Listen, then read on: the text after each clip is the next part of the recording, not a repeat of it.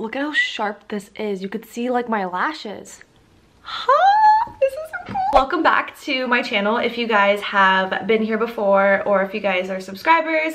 Hi, welcome. I know it's been a while. I'm just so bad at uploading right now. This is my first video on the new camera, so sorry if I keep looking up at the viewfinder because I thought that's what people do. I thought that's what vloggers do. My apologies if my eyes keep looking up here. So anyways, I just thought I'd do a video for you guys because on my last video, I've been getting some questions about how it went basically with the blue hair and I'm here to show you guys my hair after the blue hair. So some of the questions that I've been getting are like, did it turn green? How long did it last?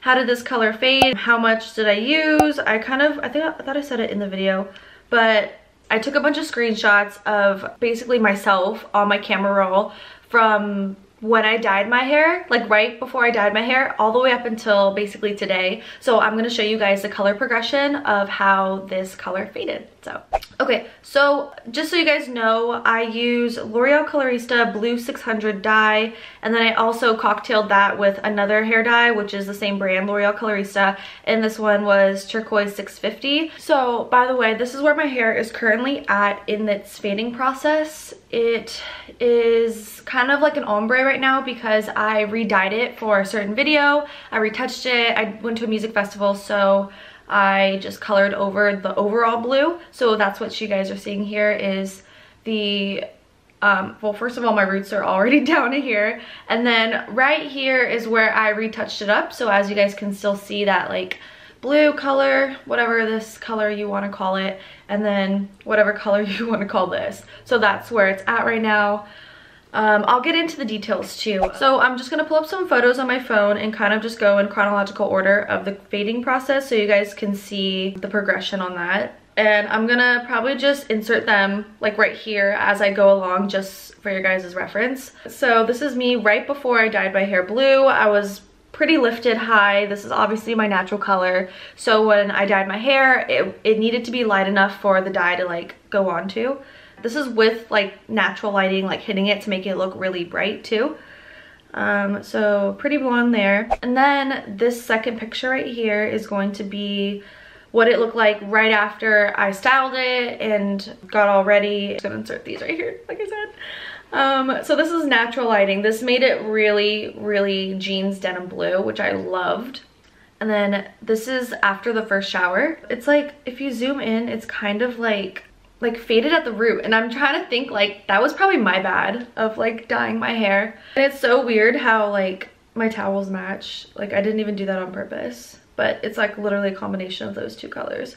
Um, so that's after the first wash. And that's with artificial lighting. I had like a little ring light in the bathroom at the time. And then this is the same thing. It's the first wash. I just styled it with a hat used a filter and it looks a little more on the teal slash turquoise side.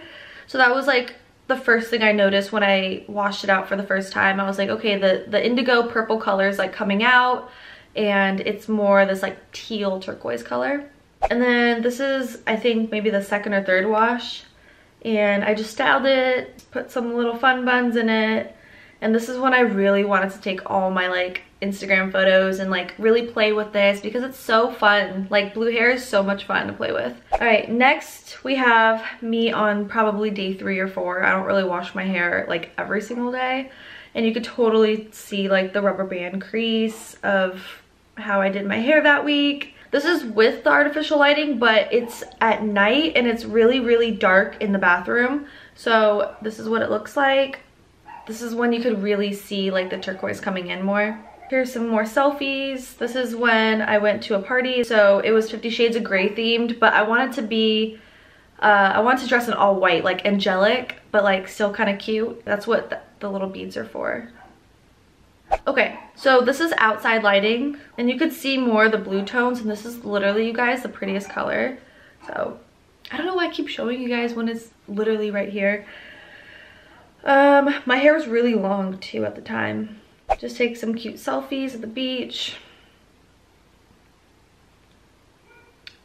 This is when, if you zoom in, you can really see the color fading. So we're on this picture right here and it looks really teal. Maybe it's my bedroom blending the colors in. But I'm going to be zooming in right here. Like you could really, really tell that it's fading. And then next we have this one. This one you could really see the yellow coming in. You could definitely see that I used to be blonde underneath it. And if you zoom in here on this picture, you could see this little like little bruise looking thing right here. I had cupping done and I was trying so hard to like not get it in the photo because it would have looked really weird. But I got cupping done. I got four little cups done and it's supposed to like increase like blood circulation or something like that. Fun fact. And then this is gonna look really weird from this picture to this picture right here because this looks green right here. This looks turquoise um, and this is blue. So this is actually like a week later or so and it looks very icy, very cool toned. But you gotta remember that this is outdoor lighting. So there's a huge difference between outdoor lighting and artificial lighting, even if it's a ring light with cool tones, like that white light that you see. Um, it's gonna make a huge difference whatever lighting you're in. And then, let's say a week later or so, um, it faded more green. This is when it hit an all-time low with the green. So moving on, we have me, it's March, it's St. Patty's Day weekend, and it's literally like the greenest it's ever been. It's like the most vibrant green without being like dark green. It's so vibrant, even in natural daylight. And so this is where it's at. We went to the Giants game that day because it's spring training in Arizona, so of course we're gonna go. Um, but my hair was this green color, but luckily it was St. Patrick's Day or day weekend. And we just, I just made the best of it, so. And then it just keeps going in waves. Like in certain lighting, it looks very light, like cloud-like blue. And then in some lightings, it just looks really bad. So, okay, moving on. We have me. This is after a haircut, my first haircut in like months so it felt really good especially with the colored hair here's a selfie with some window light it looks pretty like silverescent green if that makes sense i'm i'm making up so many names for this green because the color progression is so wild you guys like it's just it doesn't fade from blue to light blue to blonde again it definitely bounces around a lot and then this is with like the little rhinestone crystals that i got and this is with the Snapchat filter. It's, I don't know, it looks a little more green on this because it has like a yellow. It's supposed to make you look tan. So yellow definitely brings out the green in here, but I still want to look cute because, you know.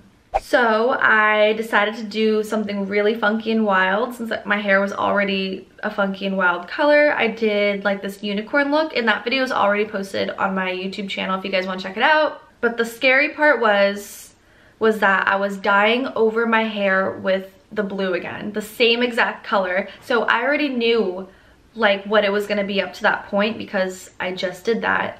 So that was the only like little flag in my head that went up. It was like, okay, well now you're gonna have to wait again, kind of like where I'm at right now.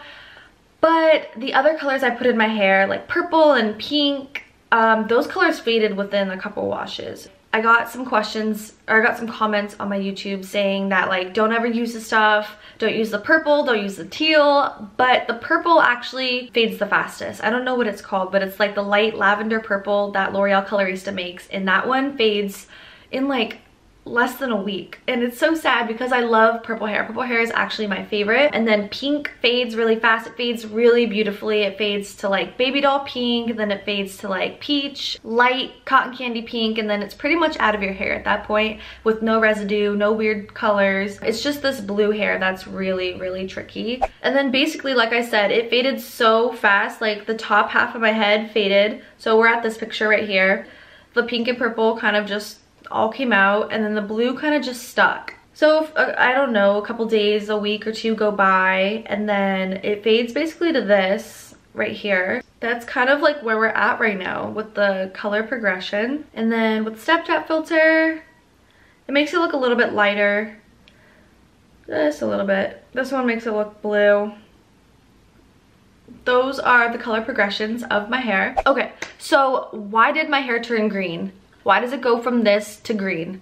Like why do products do that? Is it a bad product or is it a bad choice? Like what what is it? So I personally think it's not the product itself. I think it's just the nature of the color. So when you dye your hair, especially with these kind of like fun colors, like not natural colors, you're gonna wanna have your hair lifted as pretty much as light as possible. I'm not actually sure light as possible, but it has to be light enough to show up on your hair, at least for these um, temporary dyes.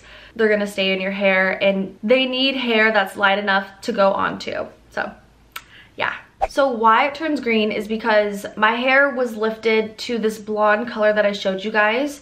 It was so blonde. This is my natural hair, obviously. The the brown color. And then I was pretty much I wouldn't say platinum because my hair doesn't lift that high it, unless it's like gonna fry off but it was lifted pretty blonde and it was it wasn't really as ashy gray cooler tone that I wanted so I think that's why I wanted to dye my hair a fun color because it was lifted so much to where I can do that. I could have put any color in my hair and it would show up. So that's what I did. I wanted to be bold and daring and just different and try new things so that's why I put the blue in my hair in the first place was just because it was fun and different. But when it faded, the reason why it fades to green and why people are so scared of green is because blue plus yellow equals green, you guys. Like it's just, that's just what we learned in like elementary school of like mixing paint together. So my hair is blonde, or at least this half of it is blonde and I put blue in my hair so when I washed my hair out for the first time I saw a lot of lavender come out. I saw purple come out. So that's all the indigo side. So the blue was washing out and it was leaving like more yellow in my hair. Like the yellow was showing up again. It wasn't adding it. It was just showing up again because I had masked it with blue. But once it started coming out, then more yellow was showing. But really what you guys are seeing in certain lighting is green. So that's why your hair turns green um, after you guys dye your hair blue. So I wouldn't really blame it all on this product. I know it's sold at like drugstores and like um, some beauty stores that you can get your hands on really easily. So it seems like it's a cheap product, but I don't think it is.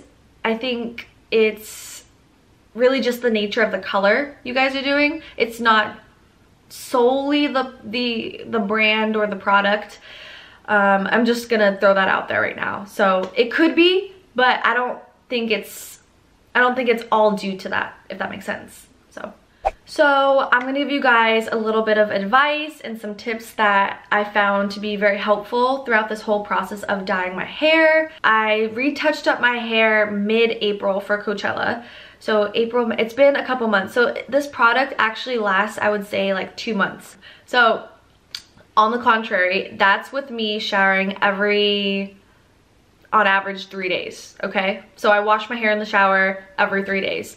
If you guys want this product to fade faster, I would wash your hair every two days and use a really good shampoo. So I would shower more frequently and because it does fade faster. Okay, so that's tip number one is to shower more frequently and to really shampoo your hair, get in there. So my second tip, which kind of goes with the first tip, is when you're in the shower, make sure you not only shampoo your head, like your scalp, because that's where all the oil is. That's why you're showering is because you want a clean scalp, you want to style your hair, you don't want your hair to be heavy, etc, etc. So you're washing your hair, but I have so much hair that Sometimes it doesn't reach the end. So I would obviously put a bunch of shampoo, I lather it up, and then I, I start on my scalp, you guys.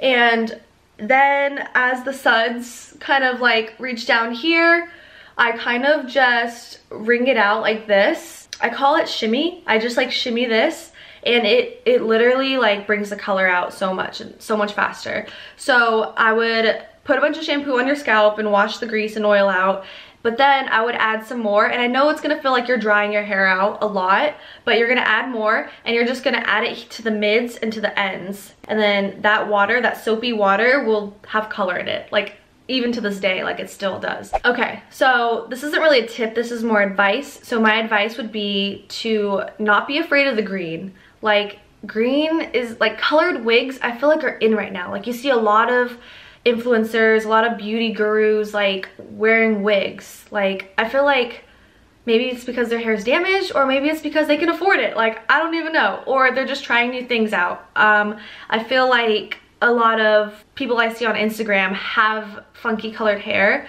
Um, even green, even all the variations of blue and green, I see it all on my timeline or on the Explorer page. Like it's not anything out of the normal, but I get it for work. If you're not allowed to have it and you just want it for the weekend, I can see how that can be an issue and how you need it out of your hair or else you can possibly like get in trouble or you're breaking some sort of like dress code like I get that too. I know L'Oreal Colorista has like these one day sprays and I've never tried them so I'm not going to give you any strong recommendations but I do see and I myself was recommended by someone else saying that those do work. Those come out faster than the semi-permanent color which makes sense because that's what they're advertising and if it doesn't work then why are they advertising it you know? So I would recommend a one day spray and try it out and see if you like it. And then for my last tip I would basically say wear neutral colors because when you have blue hair and you wear something bright like yellow or red or even green it it kind of just takes away from the attention of your hair. You just look bright you just light up the room. And if that's what you want, go for it. But I kind of liked how the blue would pop out on its own and then you pair it with something neutral. So that's the only thing that like catches people's eyes when you like walk by. So I would recommend wearing neutral colors like forest green, nude, beige, black, white, gray. So stick to that. Like this color is one of my favorites. It makes me look super tan and although it doesn't bring my hair out as much anymore because I don't have super bright colors in my hair anymore, it's still like there's still this like silverescent greenish color in my hair and it just goes well with this versus if I wore like a bright orange sports bra. So basically to sum it up, my hair did turn green.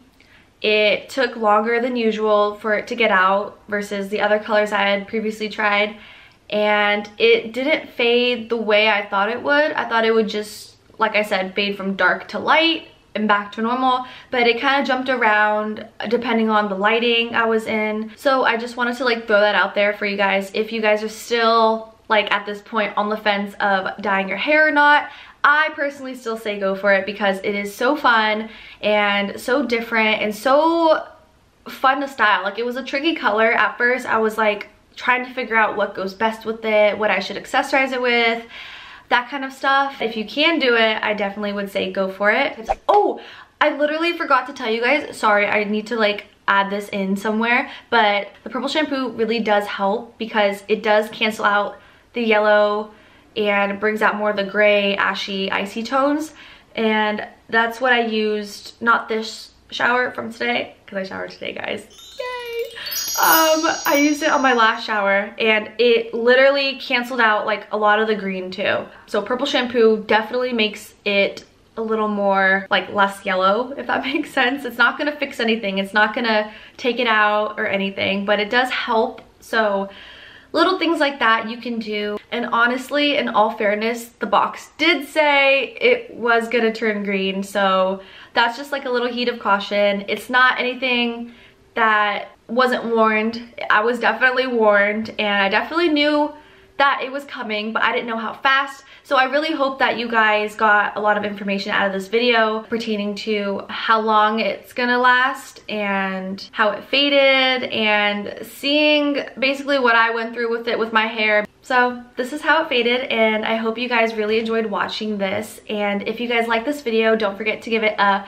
thumbs up and don't forget to subscribe because I love doing these reviews. I love doing these tutorials and videos for you guys. All right, you guys, so that's all I have for today. But if you guys have any further questions or comments, feel free to leave it down below in the comment section and I will get back with you guys. So have a nice day, guys. I'm not scared that my hair is stuck green, you know?